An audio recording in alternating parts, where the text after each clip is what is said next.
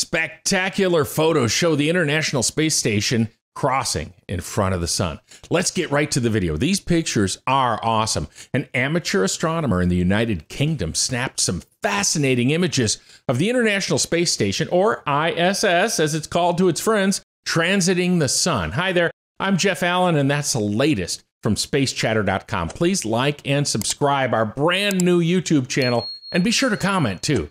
Jamie Cooper, that's him right there, captured the spectacle in just one second from his home in the United Kingdom on June 17th. Cooper is a professional photographer by day and lives in Wilton, which is a village in the England county of Northamptonshire.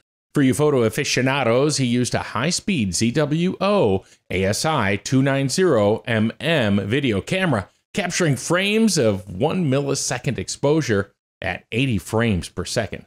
That's a lot. You're looking at a video montage here from SWNS. Cooper explains on the late morning of June 17, 2022, a pass of the International Space Station in front of the sun was predicted to be visible from my own home. This was an opportunity not to be missed. I shot the entire transit event that lasted less than one second.